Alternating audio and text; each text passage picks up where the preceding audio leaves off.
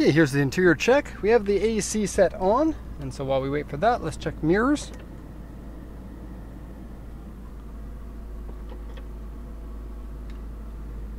Okay, the mirrors are good. Here's power windows.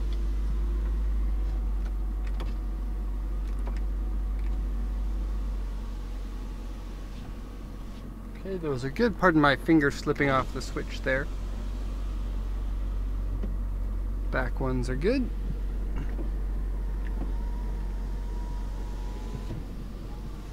Okay, AC works.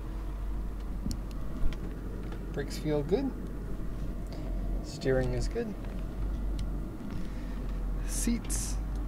Good, good, good, good, good. Good, but a little bit noisy going down. Listen.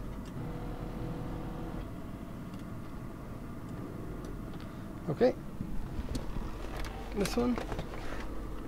Good, good, good, good, good, good, good. All good. Okay, a bunch of buttons on the steering wheel. Here's our shifting button. You have uh, one here and one on the other side. Or no, you don't have one here. It's just on the other side. So this one here is uh, shift up. This one here is shift down. Okay, this works. The tele power telescope and tilt. So all very good. Engine revs very nice. Very smooth. The vehicle runs extremely well. Just one small crack here in the wood. Doesn't smell bad inside the car. Doesn't smell like it's been smoked in. Cigarette lighter, let's check. Has been used not recently though.